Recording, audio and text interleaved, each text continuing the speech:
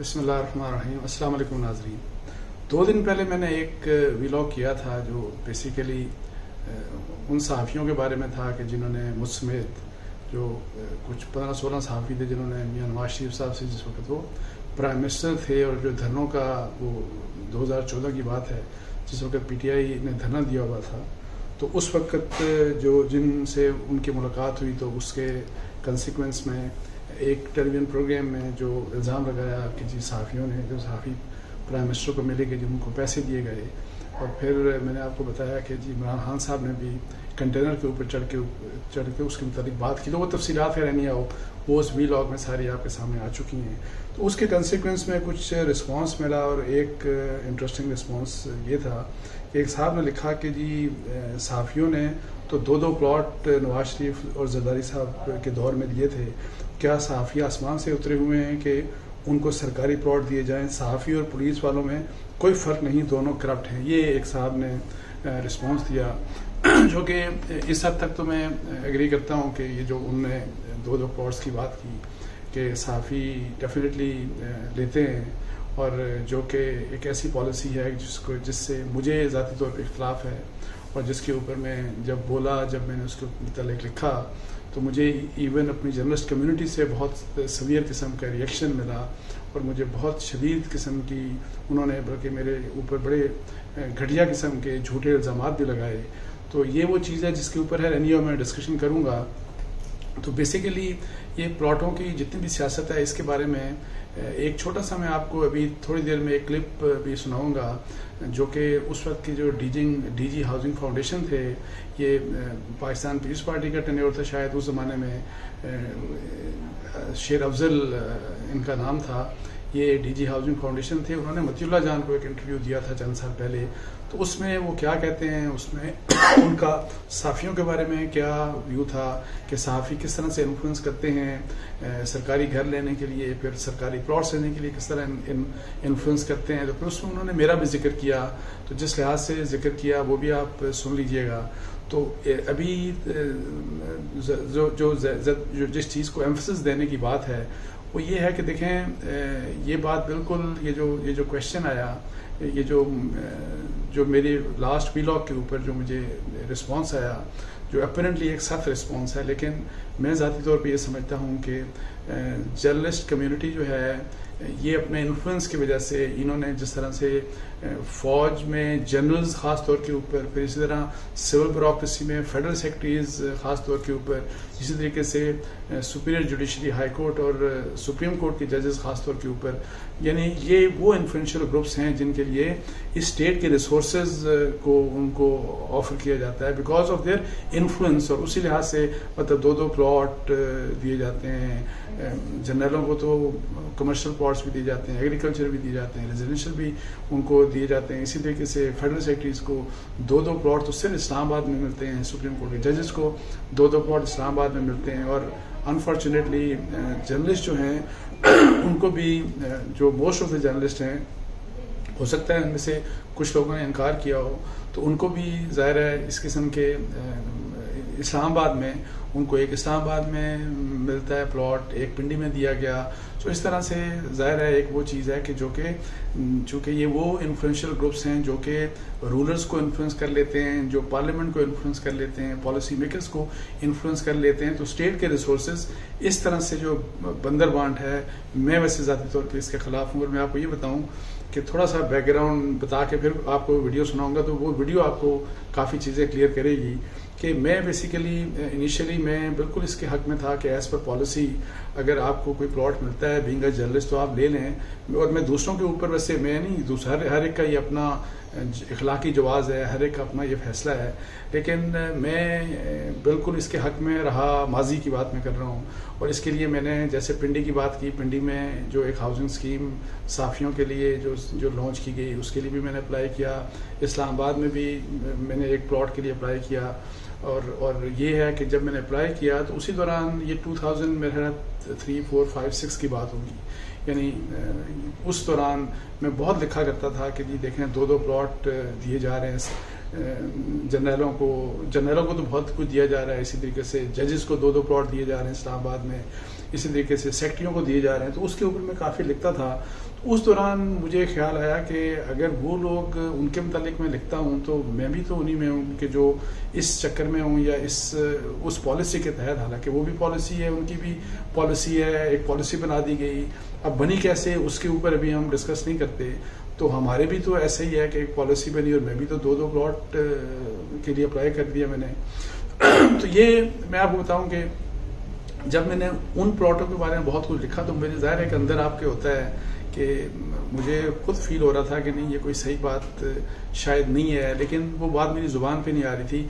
उस दौरान एक मुझे याद है कि गुजरात टाइम्स शायद कोई एक मैगज़ीन था वहाँ के एक सहाफ़ी आए मुझे इस्लामाबाद में, उन्होंने आके मुझे इंटरव्यू किया। किसी और मसले के ऊपर मुझे इंटरव्यू कर रहे थे तो उस दौरान उन्होंने एक सवाल किया कि कभी आपने प्लॉट लिया? तो मैंने उनको कहा कि यानी ये फॉर द फ़र्स्ट टाइम कि मेरी ज़ुबान से वो बात नहीं कर रही थी कि I am in the process of getting one because इस जो पिंडी का प्लॉट था, उसका मुझे उन्होंने कोई लेटर वेटर इशू कर दिया था। और फाइनल लेटर नहीं, लेकिन लेटर इशू कर दिया था तो जो इस्लामाबाद का प्लॉट था, उसके लिए वो प्रोसेस से भी होना था, वो जो भी उनकी पॉलिसी थी, उसके मुताबिक जब भी मुझे मिलना था तो उस दौरान जब मैंने उस, उनको कहा कि जी, फिर उसने, साफ़ी ने मुझे कहा कि अच्छा तो क्या साफियों को प्लॉट लेना चाहिए? तो मैंने उनको ये कहा कि नहीं, मेरा नहीं ख्याल कि साफियों को प्लॉट लेना चाहिए। तो उस वक्त मैंने फैसला कर लिया उस इंटरव्यू के वक्त कि मैं अब ये प्लॉट नहीं लूँगा। जो कि मैं समझता हूँ कि ये अल्लाह ताला का करम था मेरे ऊपर, ये मेरी कोई इसमें बढ़ाई की बात नहीं थी, मेरे इसमें कमाल की कोई बात नहीं थी। अल्लाह ताला ने ये बात मेरे दिल में डाली, ये बात मेरी ज़ुबान से निकली और फिर उसके कंसिक्वेंस में मैंने फेडरल गवर्नमेंट को भी, पंजाब गवर्नमेंट को भी लिख दिया फेडरल गवर्नमेंट को भी लिख दिया कि जी मेरे जो, मैंने जो एडवांस में जो पैसा दिया था मुझे वो वापस कर दें, मैं कोई प्लॉट नहीं लेना चाह रहा, ना मैं पिंडी में प्लॉट लेना चाह रहा हूँ ना मैं इस्लामाबाद में प्लॉट लेना चाह रहा हूँ और उसके ऊपर मैंने फिर जो लेटर लिखा फेडरल गवर्नमेंट को भी उस वक्त पीस पार्टी की गवर्नमेंट थी और फिर जो जो पंजाब में शहबाज शरीफ साहब की गवर्नमेंट थी तो मेरा ये था कि यही मैंने बात लिखी कि मैं ज़ाती तौर के ऊपर इस पॉलिसी के ख़िलाफ़ हूँ कि ये स्टेट के जो रिसोर्स हैं उनको उनका सबसे पहला हक उनका है जिन जो, जो डिसएडवांटेज लोग हैं जिनके पास जो जिनके पास घर नहीं है जो गरीब लोग हैं तो मैं नहीं समझता कि मैं उस कैटेगरी में फॉल करता हूँ और ये जो पॉलिसी आपने बनाई है, ये इन्फ्लुएंशियल ग्रुप्स के लिए आपने पॉलिसी बनाई है जिसका मैं, जिससे मेरा शदीद इख्तलाफ है। तो उसके ऊपर मैंने दोनों को लिख के तो मैंने, मेरे जो पैसे, उनके पास जमा थे, वो मैंने अपने वापस करके तो अल्हम्दुलिल्लाह अल्लाह की मेहरबानी से, अल्लाह ताला का लाख लाख शुक्र पे वो मैंने प्लॉट्स वापस कर दिए।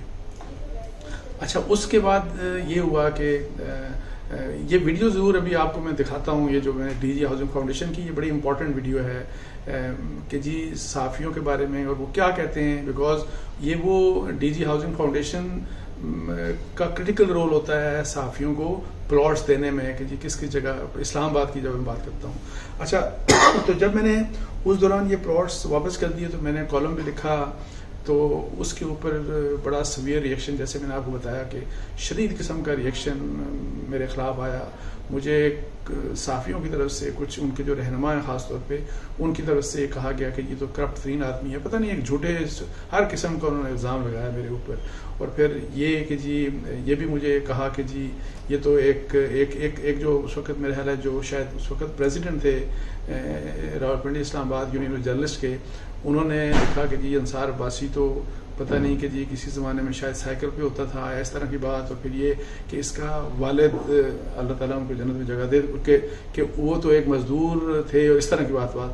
तो मैं कहता हूँ कि वालद जो भी हों, हर एक के लिए काबिल फ़ख्र हैं लेकिन जो फैक्ट्स वो बयान कर रहे थे, ये बिल्कुल झूठ था। मैंने जब जर्नलिज्म स्टार्ट की तो मेरे पास from day one journalism join करने से पहले, अल्लाह के करम से, मेरे रब के करम से और मेरे अपने फैमिली बैकग्राउंड की वजह से, अल्हम्दुलिल्लाह, मेरे पास अपनी गाड़ी थी। और मेरे वाले साहब 81 में फौत हो गए थे when I was almost 15 years of age तो उनके, माशाल्लाह, हमारा बिज़नेस हमारी प्रॉपर्टीज़ इस तरह से थी। तो मैं अपने लिए नहीं मुनासिब समझता था कि मैं उस इस किस्म के प्लॉट हूँ, जबकि मेरे पास अल्लाह का दिया हुआ, मैं मतलब है कि मैं मोहताजगी इस किस्म की नहीं थी।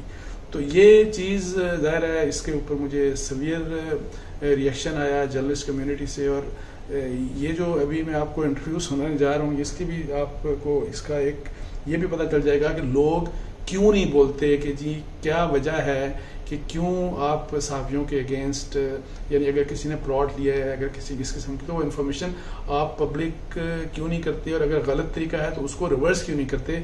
उसकी वजह भी आपको इस इंटरव्यू में समझ आ जाएगी, जो कि मथुल्ला जहान साहब ने दो तो तीन मिनट का मेरा ख्याल इसका क्लिप होगा, आप ज़रूर इसमें इंटरेस्टिंग चीज़ें हैं तो वो आप ज़रूर सुन लीजिएगा। तो अच्छा इसमें एक बात और आपको बता दूँ कि ये जो प्लॉट्स की अच्छा तहकीकत भी हुई कि किन लोगों ने गलत तरीके से प्लॉट लिया ख़ास तौर पे जो लास्ट पाकिस्तान पीपल्स पार्टी की गवर्नमेंट थी।